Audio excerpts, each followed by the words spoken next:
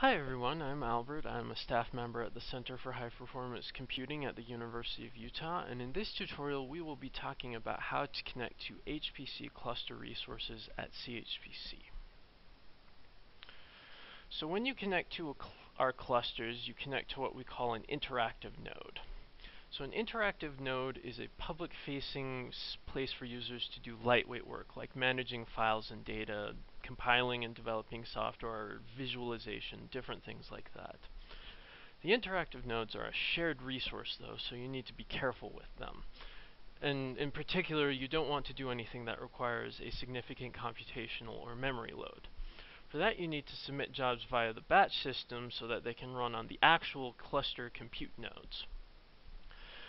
You access the batch system through the interactive node, so in the end you still need to connect from whatever your workstation is to the, to the interactive node.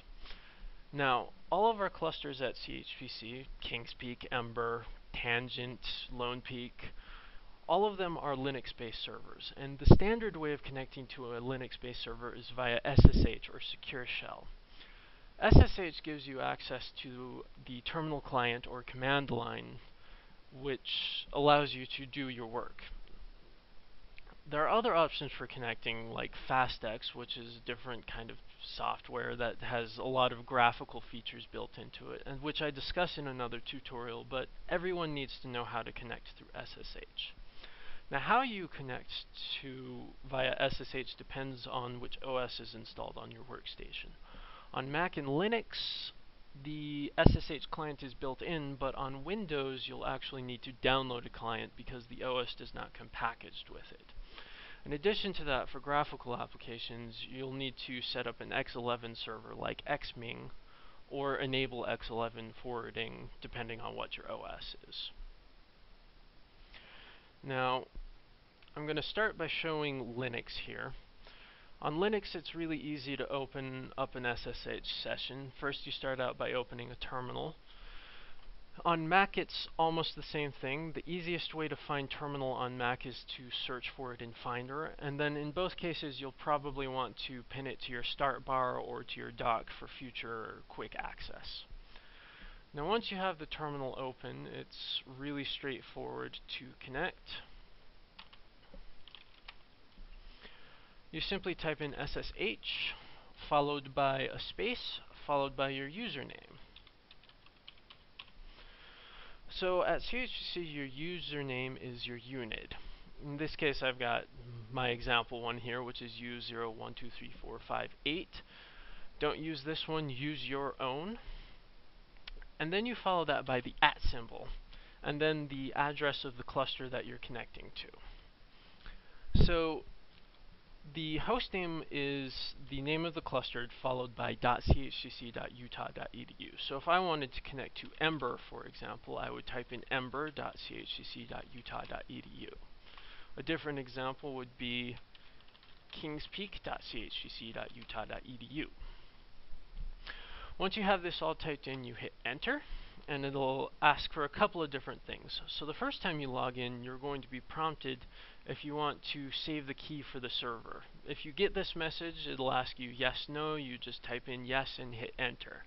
And then you'll get this password prompt. Now I'm going to put in my password real quickly here.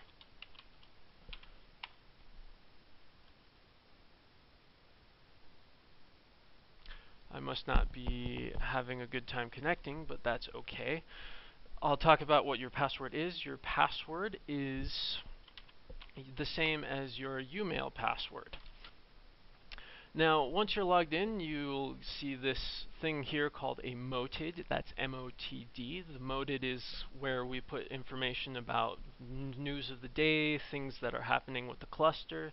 You can see that we've got a link here to our news page and to the documentation for the batch scheduler. And then you can start doing your work. Now, if you need to use graphical applications on Linux or Mac, when you type in SSH, you need to do an additional thing, which is to enable X11 forwarding. So this is really simple to accomplish. In between SSH and your username, you just type in a dash capital X, like so. And this enables X11's forwarding. So if I log in again here, now I'm in a Linux desktop right now, so I should have X11, and an easy application that you can use to test X11 for it is called XEyes.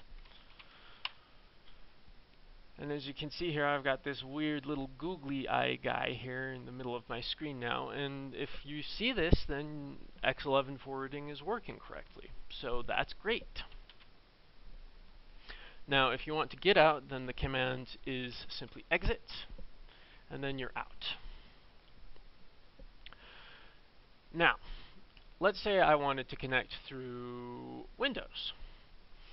On Windows, you have to install an external client. Now, there are a lot of options for this. The most popular one is probably PuTTY. There's also Xshell. My personal favorite is called MobaXterm. But today I'm going to focus on PuTTY because it's probably the most ubiquitous and lightweight.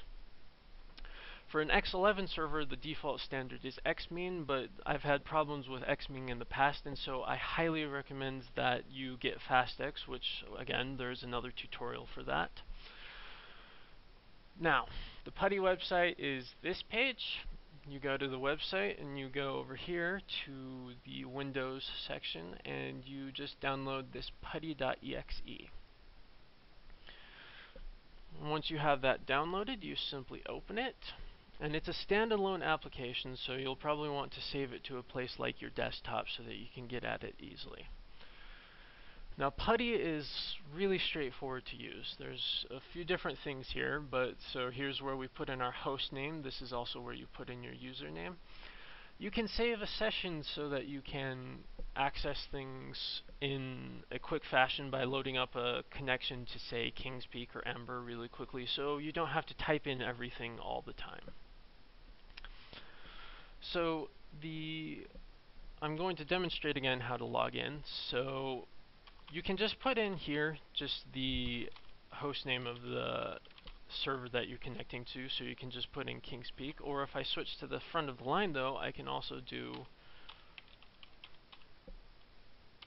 add my username at kingspeak.chpc.utah.edu. Now I'm also going to save a session right now, and I'm just going to call this Kings Peak. And if I just come over here and click, then it'll save that for me. Now one thing that you're almost go always going to want to do though is you're also going to want to set up X11 forwarding so that when you actually want it you don't have to go back and change the settings. So over here under connection in the SSH tab you see there's a X11 tab that you can open.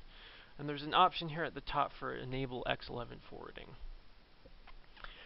You want to click that, you come back to the top here where in the session, you select your Kings Peak session and you click save and it'll be ready to go. Now, once you've got this all set up, you just have to click open.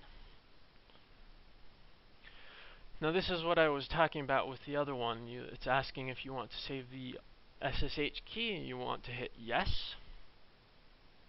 And you can see here I've got my PuTTY client. It's asked asked for my username, I type in my password, and there I've logged in. Now, going back to the browser here for a second, if you Google for Xming, this site right here, the straightrunning.com, is where you can download it. Now there's a private version which you have to pay for, but you will actually want to download the public domain release, which is this one here. I'm not going to go through the installation of this, but I have Xming running on my desktop right now. So if I do Xeyes, you can see here Xming brings up my little googly eye fellow, and you, again, we've shown that we've got X11 forwarding working correctly. So, that's everything that I have to show you in this tutorial. I hope you enjoyed this tutorial and that you've learned how to log into CHPC cluster resources. Uh, there are other video tutorials, I highly recommend you watch them, and if you have any questions or problems, you can find us either in INSCC 405 or you can contact us at issues at chpc.utah.edu and we'll be able to answer your questions. And thanks for watching.